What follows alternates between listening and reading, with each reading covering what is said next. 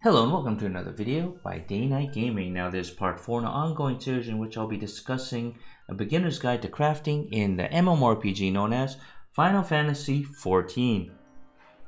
Now in this section I'll be discussing materia melding as well as spirit bonding as it pertains to crafting. So let's start off with materia. Now if you take a look at an item as you can see here, if you look under the materia section, there's one green circle. What that means is a materia can be melded into this slot without any penalty. Now, also let's take note that some gear has a maximum amount of material that it can ever hold. Now, let's take a look at this item right here. This augmented Shire's Pathfinder circlet has advanced melding forbidden. What that means is it currently has two materia slots. It cannot take more than two. Alright, so going back to this item. As you can see here, like we said, we can meld one materia into this slot without any penalty. So this can be done at the materia melder or if your job for crafting is high enough, you can meld it yourself. Now, if you look at this very specific item, this item was created by a carpenter. You can tell because the repair level says carpenter level 70. And it also says material melding, carpenter level 80. What that means is a carpenter level 80 is required if a player character was to meld material into this. All right, so now as you can see here, like we said, we can have one slot. So I'm gonna have this materia melder meld into this item a materia. So I'm gonna meld, as you can see here. Now, in this first slot, or any slots that have uh, no penalty, you always want to put your best materia in there right? Or the most expensive. Because since there's no penalty, there's no risk of it breaking. So for this very specific item, I'm going to put in a command materia 6. But normally, since this is a main hand or offhand item, I normally do not meld more than just once. But I'm going to over meld this today just so you can see. But as you can see here, my original item here only has one materia in it. Anyway, so I'm gonna I'm gonna meld this uh, control plus 10. Now, if you look at the bottom area where it says available materia enhancements, let me move this up. Okay, so what this means is I have, when it comes to control, I currently have 356 and it can hold a maximum of 419. So I cannot put more than 419 for control. You also look here, it says CP, I'm at 0 out of 6, which means I can put up to 6 in there, and I currently have 0. And same thing with my craftsmanship. I can go up to 773, and I currently have 7 or 657 in it. Right, as you can see here with the stats. Uh, so craftsmanship 657 and control 356. That lines up with the material enhancements. Alright, so I'm to have this material melder meld in this control. So as you can see here, my control would now become plus 366 out of 419. So there is still room for it. And as you can see here, I have a 100% chance that this meld will succeed.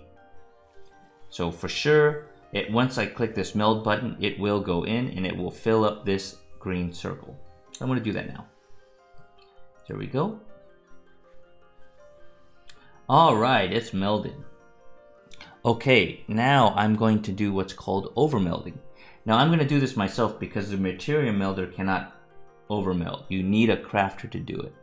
Now, if I didn't have the class high enough to do it, I could click someone else and have them uh, request a meld. Let me see if I can find a crafter over here. So I could say click this guy and request meld and ask him if he will do it for me. Of course, there there's most likely going to be a fee uh, but I'm going to do it myself because uh, I have the, the class leveled up high enough.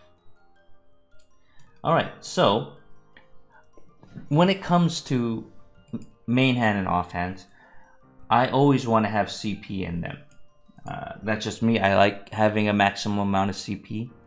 So I'm going to put this CP plus 3. Okay, this is a rank 3 materia.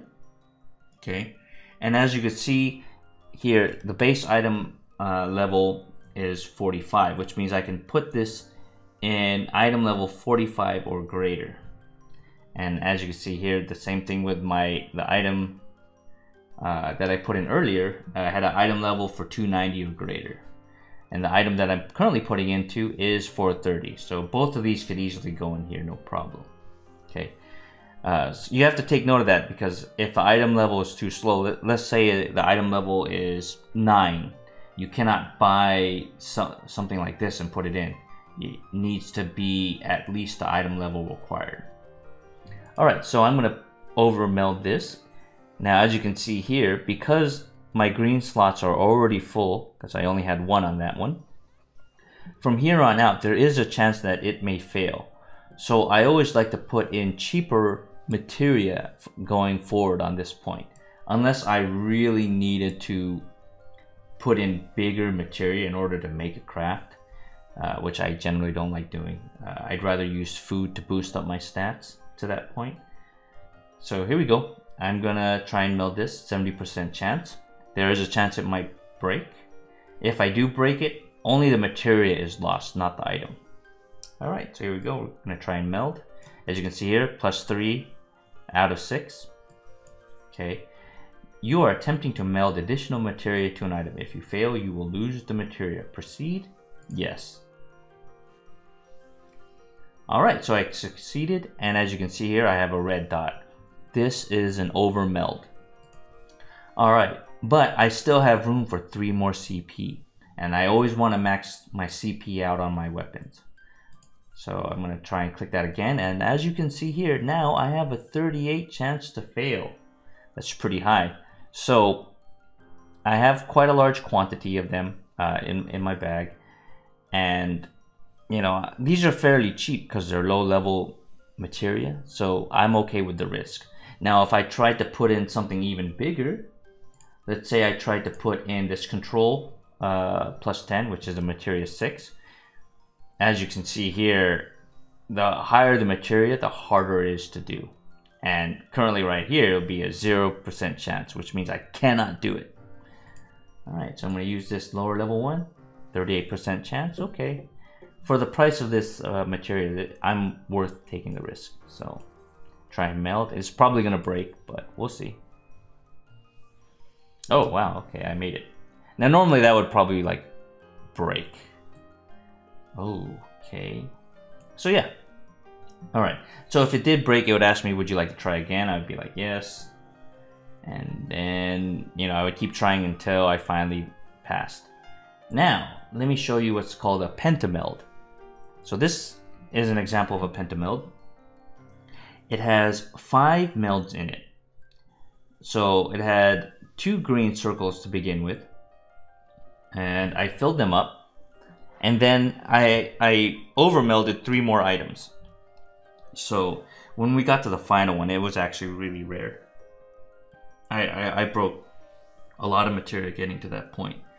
Uh, which is why I don't like to overmeld uh, my main hand offhand because when it comes to crafting, your armor pieces and your accessories are shared between all your classes, but your weapons, your main hand and your offhand, are not shared between each one of your classes. So it would actually take a lot more material to try and overmeld all these different items.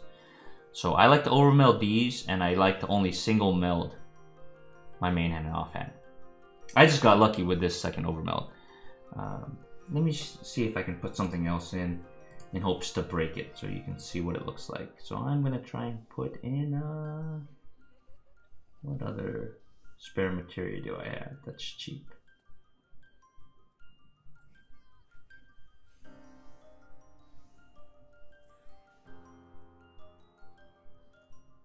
You know what, let's try it. Uh, so we're gonna we're gonna meld those in. So uh, we're gonna meld uh, craftsmanship plus five. No, actually, I don't want to meld craftsmanship. I don't want any more of that stat at currently. Let's do control. Yeah, it's fine. So here we go. I'm gonna meld control plus two. So I have a 26% chance. So this is probably fail. So here we go.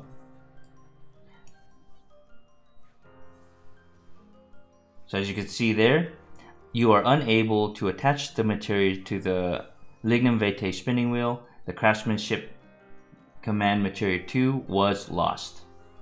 All right, so there you go. That's uh, that's what it looks like. All right. All right. So now that I've showed you melding and over melding, let me now show you removing melds. So as you can see here, I have already been using this. And let's say I out leveled it or I, uh, I wanted to take out that material for whatever reason. So I'm going to right click the item and then I'm going to retrieve materia. Okay. Now for this very specific item, for this very specific materia, I have a 100% chance to retrieve this. Now, if this materia was, say, a Craftsman's Cunning Materia 8, I probably would have an 80% chance. But since I'm way over beyond this materia, I can easily remove it. So I'm going to go ahead and remove it. As you can see here. So I just removed that material and there you go. And now it is in my inventory. So for main hand and offhand, I always like to meld one and when I, I spirit bond an item to 100%, I like to rem remove the materia as seen here. And then what I like to do is I like to spirit bond it. So as you can see here, I have spirit bond 100%. Okay.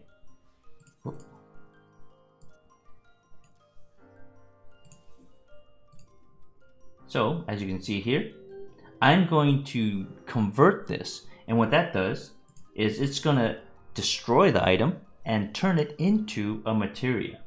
Because this is a crafting type of item, this item is used for crafting, the material that it will create is of the crafting family. So I'm going to right click it and then I'm going to click convert. Once an item is converted into material, it cannot be restored. Proceed? Yes. Alright, so as you can see here, I just got a Craftsman Cunning Materia 8. Alright, so now let's go to the market board just so I can show you why I like to do this. So I'm going to open up Weaver Tools, Lignum Vitae Spinning Wheel. Now these items go for, currently right now I'm looking at uh, 60k, right, for an HQ. Now, let's look at the item that I just converted to. It is a Craftsman's Cunning Materia 8. Craftsman's Cunning Materia 8. And these currently go for upwards of over 200k. So that's quite a large amount of profit. So I always like to do that. Once my main hand and offhand have reached 100% spirit bond, I convert them, and they generally turn quite a large amount of profit. So it's easy for me to just make my own tools or just buy them off the market board. Either way, it's uh, it's a free upgrade. Uh, now, another thing I like to do is I like to, whenever I craft, I always like to use a spirit bond potion. These are really cheap, as you can see here. So whenever I'm going to be crafting a large amount of items, I always make sure to have a Spirit Bond potion active. Now these last for 180 minutes, so that's quite a long time for a session. And as I showed you, getting materials like this make it completely worth it. Thank you. I hope you enjoyed this video. If you did, please consider smashing that thumbs up button uh, hit that subscribe and ring that bell uh, for notifications on future videos that I might be posting. And until next time, take care. Goodbye.